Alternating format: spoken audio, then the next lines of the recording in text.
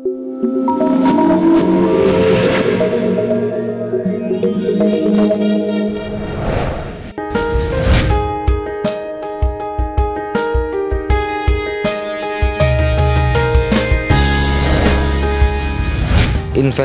yang apa sih? Ngejanjiin kayak kita naruh uang sekian terus dapat uang sekian. Gue sih nggak pernah ngikutin ngikutin kayak gitu karena karena gue pribadi gue tuh kalau soal duit ya kalau kalau soal duit gue lebih percaya nabung di celengan sampai saat ini gue bener. Dan istri gue sama gue masih sampai saat ini masih masih nyeleng di celengan yang plastik kayak gitu. Nanti kalau misalnya udah penuh dipindahin lagi atau ditambahin lagi masih ada di rumah juga sampai sekarang celengannya. Kalau misalnya soal investasi gue belum belajar sampai sana.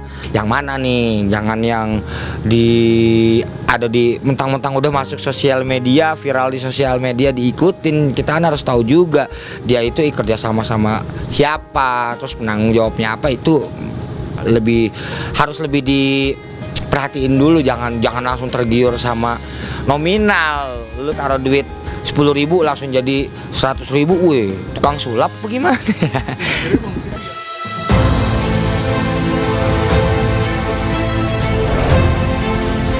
Nah itu dia. Apalagi muda-mudi gitu ya.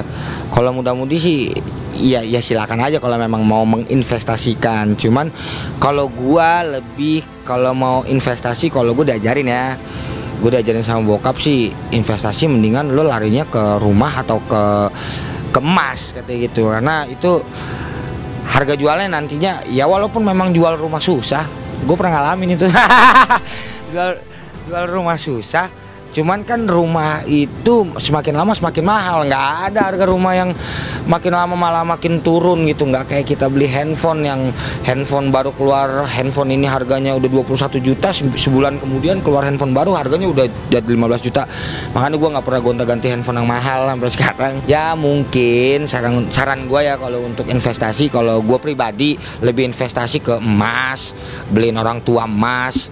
Itu hitung-hitungan lu orang tua juga seneng kalau dibeliin emas cincin kayak kalung kayak apa segala macem. Nah di saat lo butuh lo bilang aja rayu dulu mak lo ya. Mah nih bisa nggak digade dulu? Gini gini. Ya kan it's okay itu juga punya punya kita juga dan izin juga kalau misalnya orang tua nggak ngizinin ya jangan gitu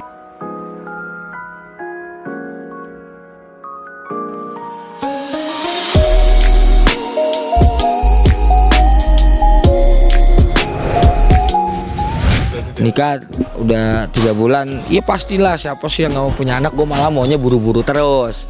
Gue mau maunya buru-buru terus dan ya kemarin sih sebenarnya udah telat dua minggu tuh gue udah berharap lebih udah berharap lebih. Cuman hari ini baru aja hari ini uh, Naya malah halangan. Cuman ya itu kan yang dikasih sama Allah ya sabar aja. Itu artinya belum dititipin sekarang. Ya berdoa aja lah berdoa dan usaha terus.